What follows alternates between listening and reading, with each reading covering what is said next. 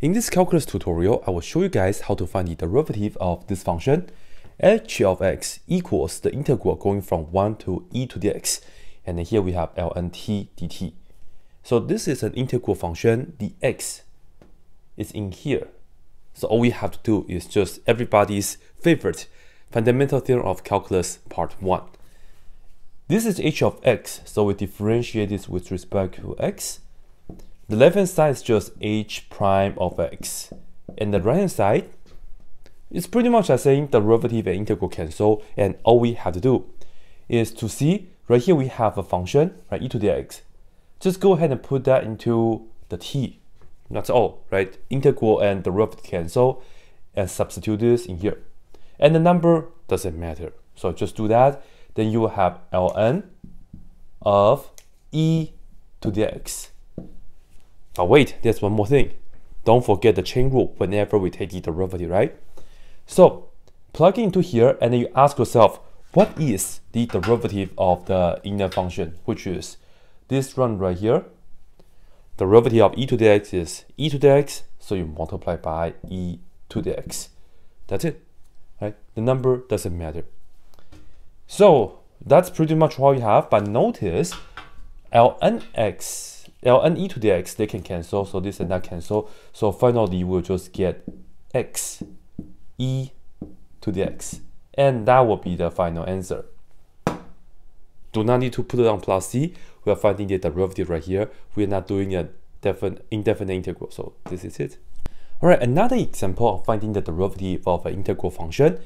This time we have the integral from 1 to square root of x, and then we have this. So let's go ahead and do the same thing d dx.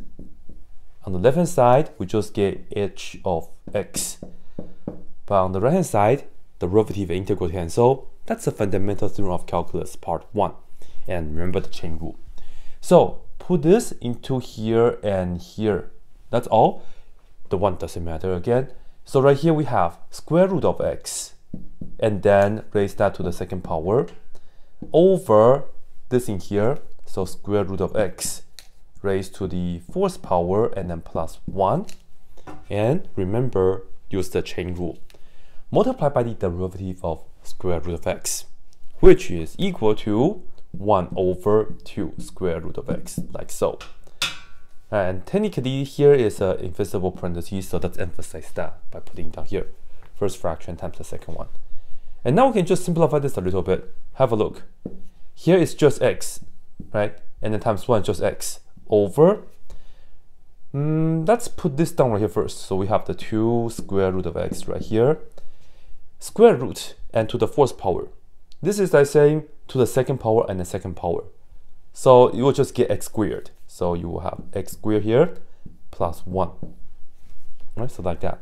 Or if you would like you can also look at this as the 1 half power. 1 half times 4 you get 2 for the power. And then finally this and that can be reduced. So let me remind you guys, x over square root of x is the same as x to the 1 half power. So this is like to the first power and that. So just do 1 minus the power. So this is x to the 1 minus 1 over 2, which you get x to the positive 1 over 2. So you have square root of x. So this reduces out to square root of x on the top because the power here is positive. So that together give us square root of x over that 2 times x squared plus 1. And that's it.